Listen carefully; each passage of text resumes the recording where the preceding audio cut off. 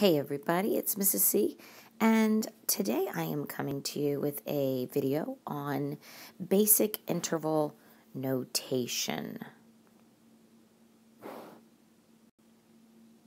And so there we go, yeah. So while I'm doing this uh, little video on basic interval notation, I'm actually trying out a new platform. This one's called um, what am I using? This is called Explain Everything. So we're going to see it's got a lot more bells and whistles. So I'm going to try not to get too distracted while I'm doing this video, but it could happen. So it's a good thing we're doing basic interval notation so that if I do get distracted, it's not uh, too complicated. So what is interval notation? Well, simply put, interval notation is just another notation that we can use to express um, infinite solutions or more than one solution, say. And let me give you an example. So if we use our basic set notation, that would look something like this. x is less than or equal to 5. And this notation came in after we learned about notation like x equals 5. So what's the difference really between x is less than or equal to 5 and x is 5? Well, on a number line, right, intuitively speaking, if we had 0, we would have 5 over to the right, 5 units from 0 on the right. And um, x equals 5 would be something really simple, like a solid point on the 5, indicating that the value of whatever you're looking for is, is 5. Well, when we come over to this, x is less than or equal to 5, we note that the value of 5 is not only x, but it's also all of the values, including all of the infinite negative values that fall to the left of 5 and including 5 itself. So pretty much any number, say for example negative 5. Ooh, sorry about that. Say for example negative 5 or 1 or even say negative 1 million. All of those infinite values. And we probably know enough about um, the number line to know that there's an infinite amount of values between any section of the graph. They could just go on infinitely forever. So our inequality is really representing more than one value, simply put.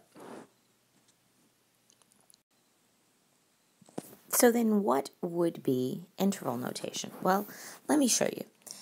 If we had the set notation, x is less than or equal to 5, and we had already graphed it, and it looked like this. This is something that you've already done. With the 0 in the middle, 5 is to the right. If we were to graph that, we said we would have a closed circle shading into negative infinity. And what's over here on the right is positive infinity.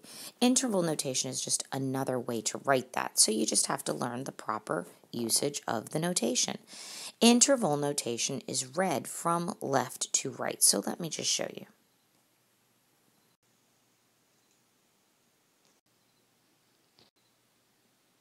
And I think in order to help me show you, I'm just going to use a, well, let's use the force. Oh yeah. So what we have here is from reading from left to right, starting out here in negative infinity. Interval notation will tell me where I start, which is in negative infinity, again, from left to right, and it'll progress all the way to where I'm supposed to stop right there at the 5. So one more time, using the force. That's what I'm talking about. From negative infinity coming all the way through and stopping at 5. Well, now that seems pretty simple, right? But now we have to write it. So if I'm going to come from negative infinity, remember we said, and I'm going to progress all the way to 5, I'm going to write it this way in interval notation. I'm going to open with a parenthesis, and I'm going to close with a bracket. Now, I know I blew your mind there for a second, so let me just explain. Whenever we are not counting, well, let me say that backwards. Whenever we are counting a value, say for example, I want to count the 5, I use a closed interval. So our closed intervals, let's go to another page. Okay, this is going to be a miracle if this video comes out right. I'm trying to go back to, so let me see, how can I do this?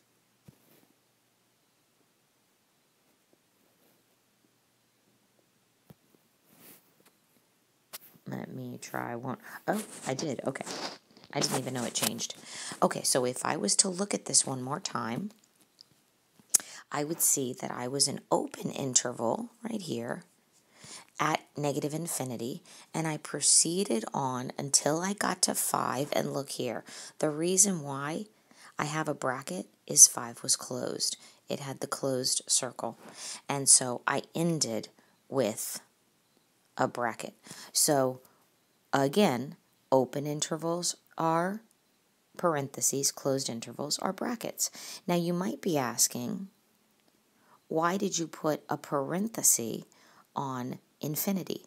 Well, infinity, either negative or positive, are always um, open intervals. You can't contain infinity. If you think about it, there's no containing infinity because it goes on forever. So to contain it means to enclose it or to capture it, say, like we did with the 5. We included 5. Well, you can't include infinity because it keeps expanding. And there you have it. All right, let's try another page. So what I'd like to do now is just a little bit of practice. So if I was to give you a graph and I was to maybe say shade, to do it something a little bit different, and say I did closed and I shaded this direction. How would you write that in interval notation? And also, how would you write it in set notation? You should know how to do that. Think about it for a second. Pause the video if you need to. All right, let's go with the basic set notation. That's something you already know. I'm going to put it down here. We know that we have an x and we know that we have a negative 2. The direction, or excuse me, the question would be, are my values, these that are shading right up here, are my x's, because x is the shade, are my x's either or greater than the negative 2 or are they less than? Well, which direction are you shading? You're shading into positive infinity. So if you shade towards positive, your numbers are always getting bigger. And if you shade towards the negatives, your numbers are getting smaller. It's as easy as that. So what direction? I'm saying that my values of x are actually greater than negative 2. And that would be that. And because it's a closed interval, I want to have a line underneath it. That's how we show closed intervals in set notation. Now, what about interval notation? Really easy. Remember how we went from left to right. So we start at the left side of the graph where I have my negative 2. I have a bracket because we said it's a closed interval, and I proceed into infinity where I close with an open interval. And that's it. That is how you do graph how you do interval, and how you do set. Let's try another one. So say, for example, I'm going to give you 0, and I'm going to have you shade, um, here's a 1, open, and let's shade in that direction. So how about we do set first? We know we have x values, they're the shades we know that I am starting at 1. The question then becomes, are my x values greater than 1 or less than 1? Well, in this case, they're shading towards negative infinity, meaning they are less than 1. So my x values are less than 1. Are they closed or open? Am I including 1 or not? No, I am not including 1. There's an open circle. That means I'm going to not have that line underneath the inequality.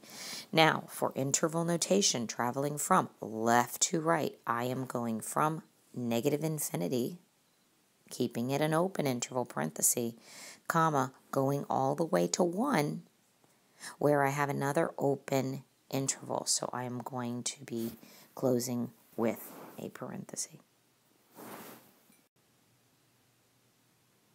Now, sometimes you have graphs that look like this. Now, you won't have them when you're doing basic inequalities, but you will have graphs that look like this when you start to do what we call compound inequalities. So a shout out, hey, any of my peeps out there that are doing compound inequalities, you might be having graphs that look like this in your final answer. How do you express those in interval notation? Well, the good news is uh, they're the easiest ones I not they're the interval notation is the easiest part of doing compound inequalities. So um, when you get to this part, you're going to just be happy you made it this far. So let's look at that top graph. And I made these a little too close together, but we'll just have to deal. So if we look at that top graph going from left to right, all you do is read it when you do interval notation. And so from the left side, as I progress, hang on, where's my, where is my pointer? Let me find it. Let's see. Here it is.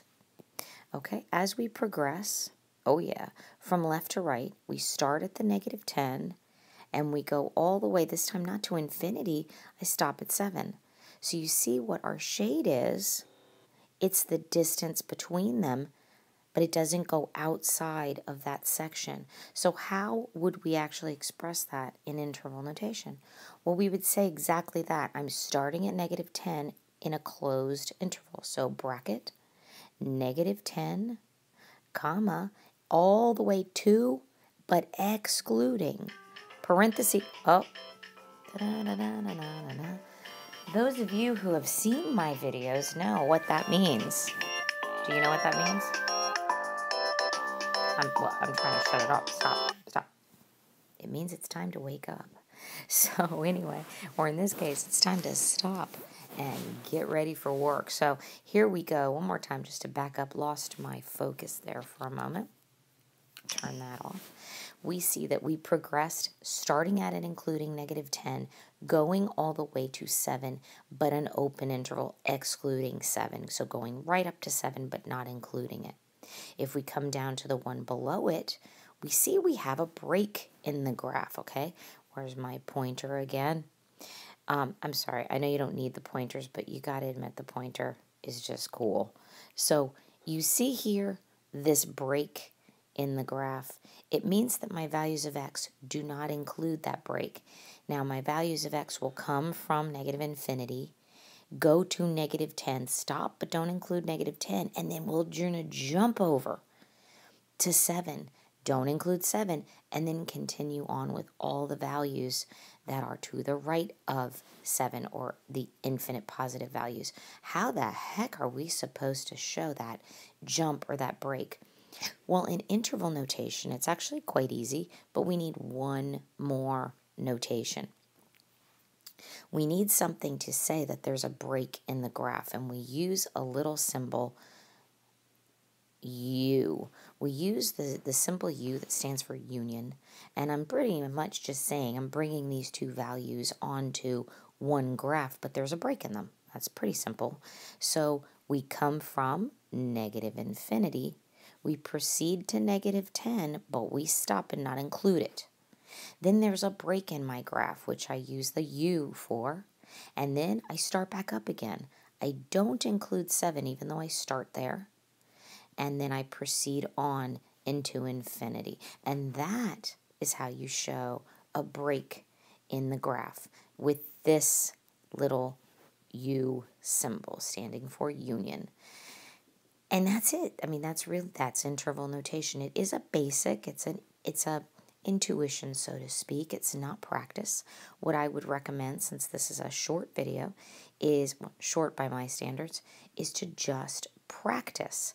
Take graphs and write them in interval notation. Find yourself a nice bunch of, of practice on interval notation and just get into a habit of writing everything you do in interval notation, not just set notation.